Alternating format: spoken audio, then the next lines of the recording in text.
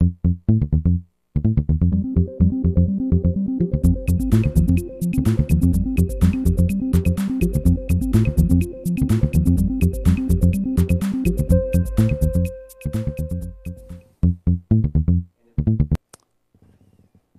I'm Walter Schwabe, your host of Gov2 TV. Welcome to another episode.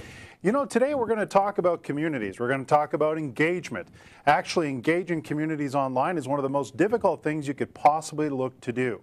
And today I'm joined by special guest Adriel Hampton, who's the chief organizer of NationBuilder.com. Hello, Adriel. How you doing, man? Hey, good to be here, Walter. Doing well, thanks. Well, let's get right into it. Uh, you know, for those of uh, the folks that are watching live and uh, on demand later, if you haven't heard of Nation Builder, you guys have been generating a whole lot of hubbub about uh, who you are, what you do, but let's give them the, the quick rundown of what Nation Builder is. Yeah, absolutely. So, Nation Builder is a platform for organizing, and it's designed to bring together uh, a whole bunch of different activities that folks who are organizing on and offline need to do. So, things like uh, being able to do uh, online phone banking, being able to uh, take credit card donations, being able to blast email and uh, text folks, and also being able to launch websites. what really um, kind of differentiates it, other than bringing all those things onto one platform, is that we have a fully integrated uh, CMS and CRM. And for folks not familiar with those terms, CMS is a content management system like a, a WordPress, and a CRM is a customer relationship management system, something like a Salesforce. So we put those things together, and we actually have um, made up a new acronym for them, uh, the COS or Community Organizing System. Well, okay, so that now let's let's take a look at this now. As you know uh, really well, the the topic of uh, discussion on this show is typically around open government, uh, Gov 2.0, where government integrates new technologies to improve business process.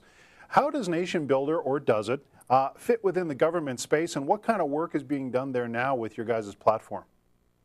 So we have some, um, we have the, I guess one of our government customers that's interesting is the uh, Parliamentary Committee on Social Tourism in the UK. They're using Nation Builder to get across um, news about social tourism in the UK, to publish reports, uh, to help people keep track of their meetings.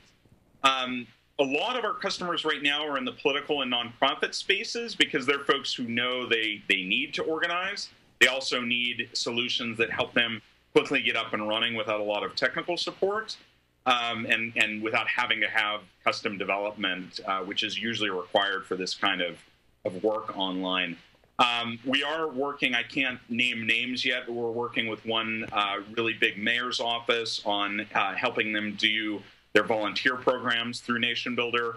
Uh, we're also uh, talking to a company that does a lot of work with local governments about having them being uh, kind of a channel for Nation Builder. So we're very interested in, in governments using us. Um, you know, I'm sure a lot of your guests uh, talk about the uh, difficulties there are with with um, speed of procurement, uh, agility to use consumer type solutions, being able to use uh, SaaS cloud solutions. Uh, it's something that I became very familiar with in my time in government before joining Nation Builder. Um, so I, I, think that it's a very good solution for uh, like a mayor's office of neighborhood services, right, where they have to do a lot of constituent management. They're managing a lot of volunteers. They may be doing a lot of events. Uh, all of that stuff is really well integrated into Nation Builder at extremely low prices. Um, but uh, so I'm looking forward to, to government using the platform more and more. We're only six months old, so seven months. So let's talk a little bit about then the, when, when working with government. Often, uh, you know, there's firewalls to deal with. Obviously, there's privacy. There's uh, all sorts of issues on security, and uh, you know, typically government IT departments are hypersensitive to any new platform being brought into the ecosystem that they've set up and are are uh, supposed to be managing every day. How does, uh, you know, obviously, I have to assume you guys are a software as a service uh, setup. So, how do you work within those kind of tricky environments? Yeah, I think one of the, the big things um, about Nation Builder that's somewhat unique, especially for folks who are, um, you know, maybe looking at, um, more centralized platforms like uh, Facebook, you know, and, and having struggles over privacy and security. Um, Nation Builder um, is uh, the platform, but each Nation Builder customer uh, has a totally distinct uh, identity, a totally distinct identity management system um, within the platform. So no data is shared uh, between our customers without them choosing to share it, for example. Um, so it's it's very much um, like using any kind of cloud database solution.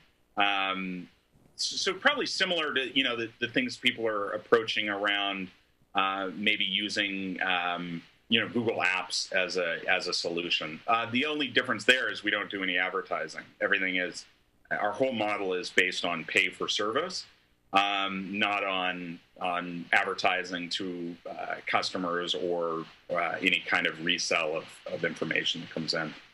Well, let's talk a little bit about the fact that you don't pay for advertising, and yet you've gotten uh, quite a bit of uh, attention. Obviously, on your website, there's a number of uh, organizations you list there as having covered you guys.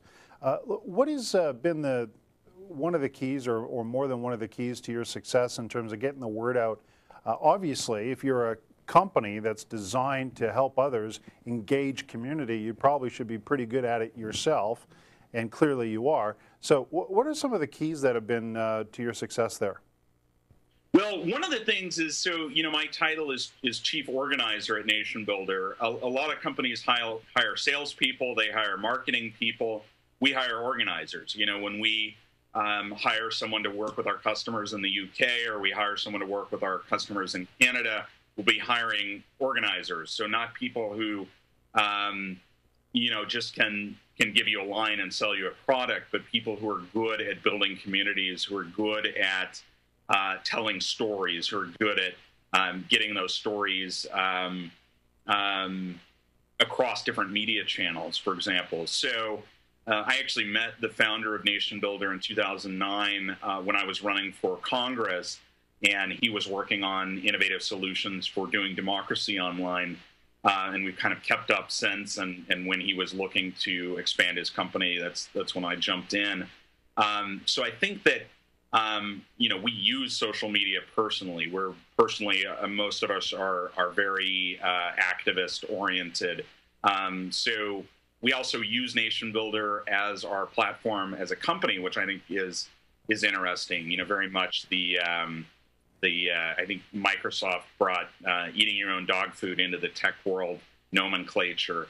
Um, you know, we use things like uh, Google Apps and social media and uh, Nation Builder itself to manage uh, our interactions with people and to um, we use our own blast email system, for example, to let folks know uh, when we're going to be in town for a conference, you know, and let's get together and have drinks or, or things like that. Really making sure that we're building a community around our company.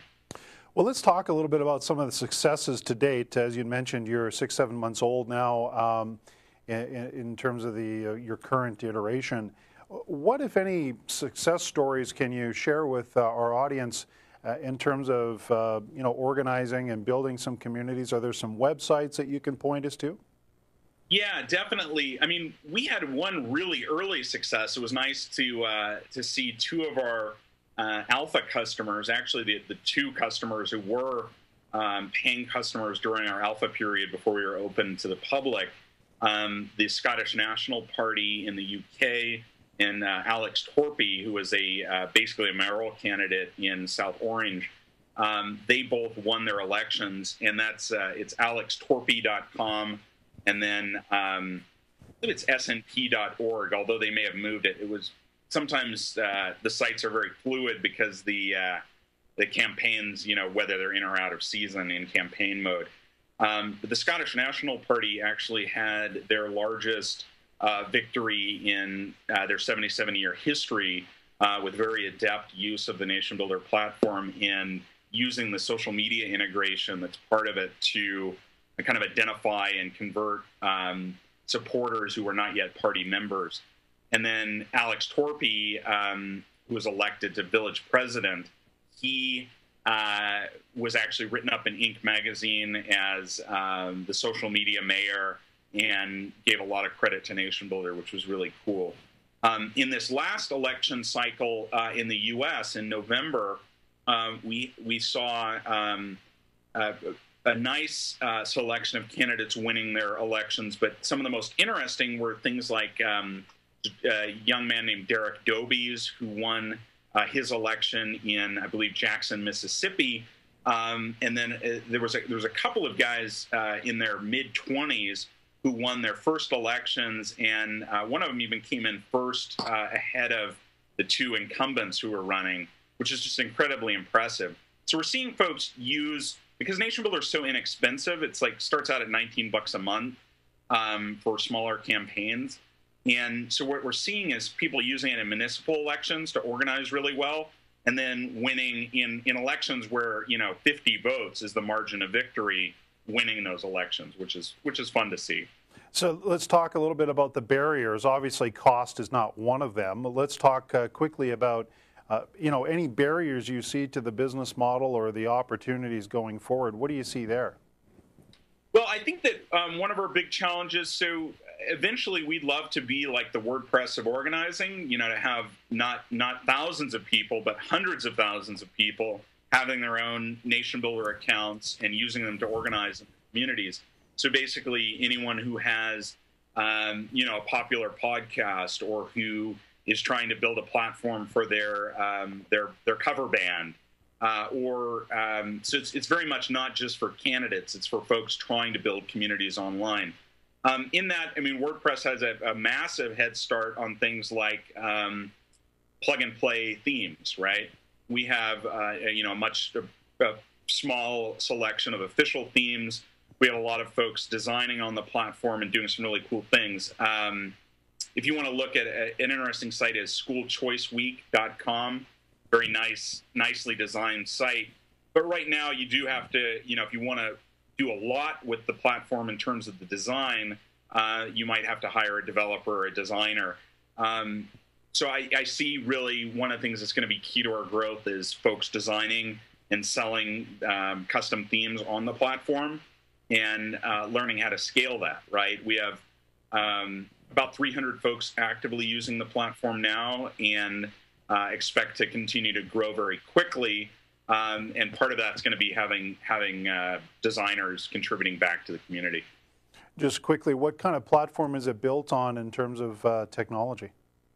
So it's a Ruby on Rails app. Um, and we, uh, for the theming side, for the, the public sites, we use um, the Liquid uh, theming language, which is an open source uh, theming language that allows you to do a lot of uh, conditional things. Like, so we have a lot of flexibility um, to display certain activities, whether or not someone's logged in, to change the look of the of the theme and the template based on which page you're on uh, within the theme um, and a lot of that's uh, powered by Liquid. But it's also um, just basic HTML as well as uh, Sassy CSS.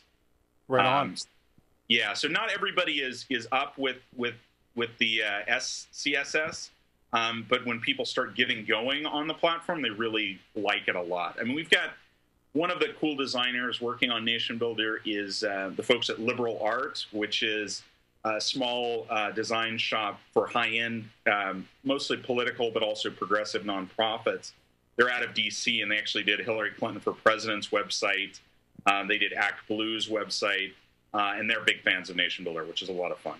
Well, Adrian, uh, you know, thank you so much for being on Gov2 TV today. Ladies and gentlemen, if you've been uh, just tuning in here, I'm speaking with uh, Adriel Hampton, the chief organizer for nationbuilder.com. Adriel, again, it's great to, to speak with you out of uh, the San Francisco area. Uh, hopefully, the next time you're up in the Edmonton area, you can uh, come and say hi to us in studio. ladies and gentlemen, thank you again for tuning in to this episode of Gov2 TV. I'm your host, Walter Schwabe. We'll see you next time.